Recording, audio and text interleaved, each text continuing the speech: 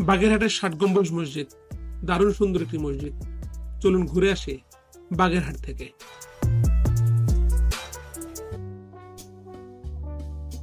আমরা খুলনা থেকে বাগেরহাট যাব। ঢাকা থেকে খুলনা প্রায় দুইশো বিশ কিলোমিটারের মতো রাস্তা। আর খুলনা থেকে বাগেরহাট যেতে প্রায় চল্লিশ কিলোমিটার রাস্তা পার হতে হয়। খুলনার রাস্তাগুলো এখন আগের তুলনায় অনেক সুন্দর হয়েছে। অনেক আগে একবার আমি গিয়েছিলাম, আর পরীক্ষা তো দিয়েছিলাম ভর্তি পরীক্ষায় খুলনা ইউনিভার্সিটিতে সেই সময়। চলুন খুলনা ইউনিভার্সিটি ঘুরে আসি। যদিও এখন বন্ধ এই সময়টিতে, খুব বেশি ছাত্রছাত্রীর আনাগোনা নাই, আর এই সময় বন্ধ থাকার কারণে বেশি জায়গা আসলে ঘোরার সুযোগও নাই। আমরা বেশিক্ষণ এখানে থাকব না প্রচণ্ড রোদ এই সময়। আমরা যে সময়টাতে গিয়েছিলাম সেটা গরমকাল। আমরা বিশ্ববিদ্যালয়ে বেশিক্ষণ না থেকে সরাসরি বের হয়ে চলে গেলাম বাগেরহাটের ষাট গম্বুজ মসজিদে সরাসরি। এটি সেই বিখ্যাত ষাট গম্বুজ মসজিদের দৃশ্য। দেখুন কি অসাধারণ সুন্দর। লাল রঙের এই মসজিদটি আসলে চোদ্দ শতকের দিকে তৈরি করেছিল খানজাহান আলী নামে এক যোদ্ধা এবং স্থানীয়দের কাছে এটি খুবই গুরুত্বপূর্ণ একটি।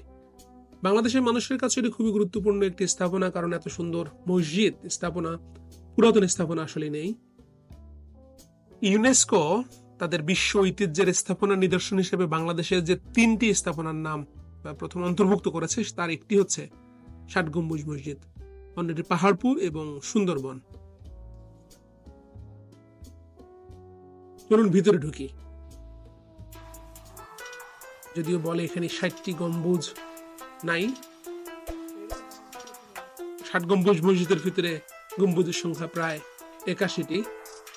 কিন্তু এই মসজিদের নাম কেন ষাট গম্বুজ?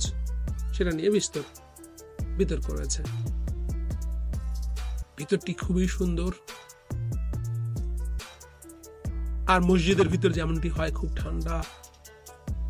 যেমন এক আরাম আরাম ভাব লাগে।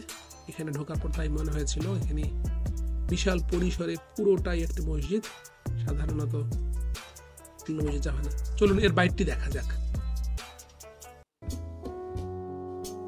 কিছুটা রক্ষণাবেক্ষণের কারণে মসজিদের বাইরের অংশটি এখন বেশ পরিষ্কার পরিপাটি। এখানে অনেক বছরের পুরাতন গাছগুলো খুবই যত্ন সহকারে রাখা হয়েছে। দেখুন কত বড় গাছ।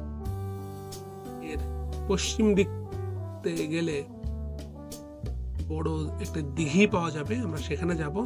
তার আগে মানে পনেরো শতকের দিকে এটি তৈরি করা। যদিও এর নাম ফলক বা কোনো ধরনের শিলালিপি এই মসজিদের গায়ে নাই, তাই নির্দিষ্ট করে বলা যায় না কে এটি বানিয়েছে। তবে ধারণা করা যায় খানজাহান আলী অন্যান্য স্থাপনাগুলোর মতোই তার হাতে এটি নির্মিত হয়েছিল। এর পশ্চিমের দিকের বাইরের দিক থেকে চলুন আপনাদের নিয়ে যায় সেখানে বড় একটি পুকুর রয়েছে।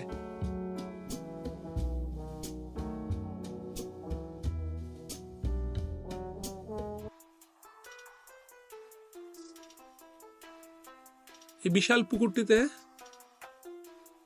কুমির আছে বলে বলা হয়। আমরা সেখানে গোসলও করেছি। যদিও অনেক কুচুরি পানা এবং অনেক আবর্জনা রয়েছে, কিন্তু পানিগুলো পরিষ্কার।